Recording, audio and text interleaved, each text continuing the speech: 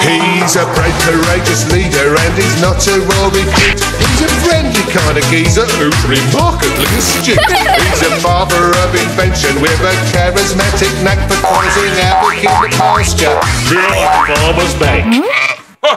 Whoa. He's Shaun the Sheep. He's Shaun the Sheep. He's not afraid to make the intellectual leap. For brains and guile, with a wink and a smile, you compete with the Sheep.